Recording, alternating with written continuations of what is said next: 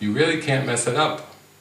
So you don't have to be concerned that you could screw it up. You know, or people have said to me, "What happens if I make it back to heaven and I screw it up again?" You know, it's like you screwed it up in the first place. You can't, you can't screw it up again because you never screwed it up in the first place. You know, that's that's how free we are.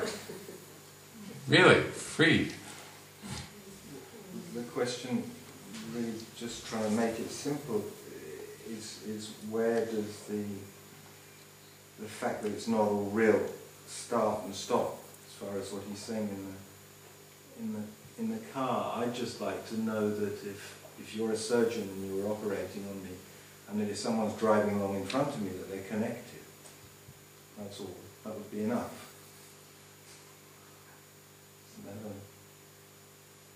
They're connected. Or the pilot that, everything. that's going to fly our planes that they actually think, well, today is a good day and I'm not going to fly the plane, the plane in the ground. You know, might not make a difference if you're on board because that will be the end of, of this experience. But but there is still a, a degree of practicality that have to be that have to be observed. We, we don't know if, if have to be is the right word, but uh, but that is being observed, and the insanity of of, of what's happening here is just so so clear. You know, and like people punching, punching each other in the face in, in a spiritual retreat is just like that's completely insane. So mm. what thought system would do that? They did that on the supposed shrine of Jesus too. Punch each other in the. But it's still, when you take a car the, on the road, you don't drive down the road wondering if the guy, each, each, each person that crosses in front of you uh, is going to drive into you. You trust, don't you? Yeah, in the end, it's just like I said with relationship that relationship has been called mysterious. You know, a lot of people I know that will say the more I I look at and examine and explore and go into the topic of relationship, the more mysterious it gets. Uh, it doesn't get clearer, they'll tell me. It gets more mysterious, like it's something super mysterious. And I would say it's the same with this world, that where does all this lead? Where is it all heading? You know, I mean, really, let's just take the topic of practicality. If somebody asked me, and let's leave heaven out of this, let's leave heaven and nirvana because that's just purely abstract. Nobody has seen the Holy Spirit, perceived the Holy Spirit, nobody's seen God, and when you talk about heaven, you can talk about happiness and joy and oneness, but for most, we could say, people in the world, they've come to a state of, okay, that's still speculation. It sounds kind of good, eternity, eternal happiness and joy, but let's be real here. Let's talk about practicalities. But what if I said that the most practical experience you could have that still relates to this world, that still relates to this world, I'm not talking about abstraction, but the most practical experience you could have that still relates to this world is simply to see everything as symbolic.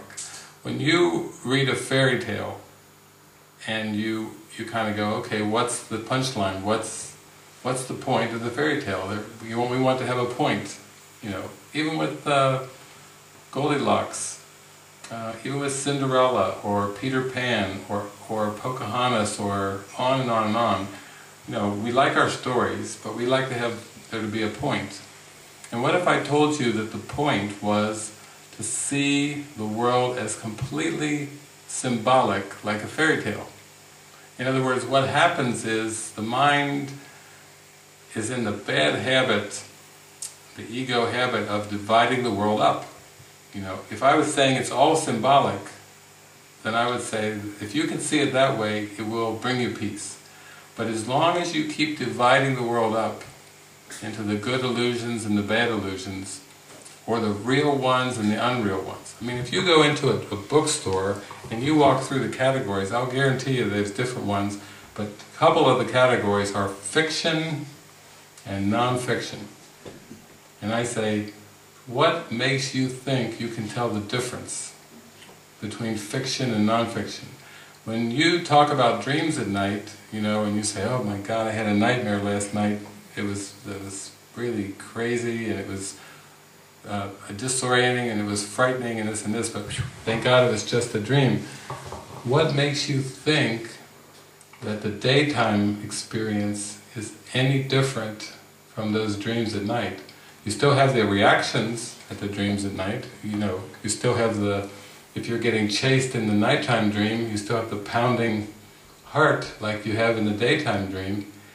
And and I've watched that, I mean, I, I use that example a lot where I have a friend, Jimmy Twyman, who who uh, wrote a book about the Silent Brotherhood, and over in Kosovo and, and so on and so forth, and and he he did his book, and then at some point after that, a controversy arose. Was you know, did he just make the whole book up? You know, about the Silent Brotherhood and his experiences over in Europe and meeting them and them sitting in silence to save the world and everything, or was that was he just making it up? Marlo Morgan did that with her book Mutant Message Down Under. She went down, walkabout on with the Aborigines, came back to the United States, started going to the churches, and started presenting it in workshops. And then this huge controversy arose. Did she just make this whole thing up about going down to out the outback in Australia and make up the whole story, which was kind of a dramatic story about tele tele telepathy, about letting go of everything that you believe and all self-concepts and images and having no secrets. That's what the Aborigines were teaching her. And now with Gary Renard, another friend of mine who writes a book, Disappearance of the Universe, does another one, he's got a third one on the way, and there was a big Course in Miracles controversy saying, some people coming out, well-respected so-called teachers saying he's a big liar, uh, he did not really have ascended masters coming to sit on his couch in Maine, he made the whole thing up, da da da da da. What, we, what I'm just saying to everybody is, are you willing to open up to the experience that all of it is fiction? And what if that's the most practical thing?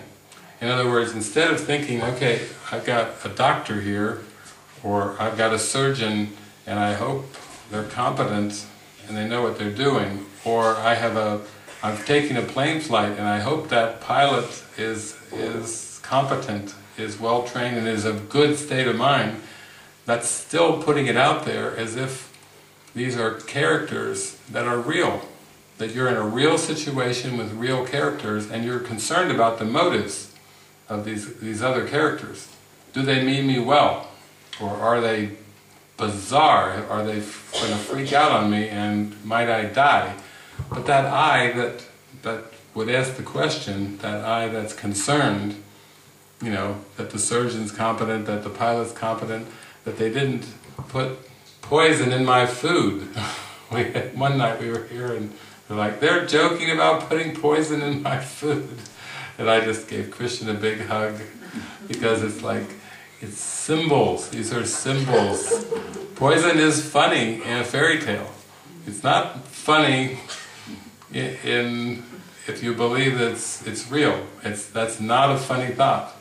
That's what they call sick humor. Talk to Lena. She ate rat poison.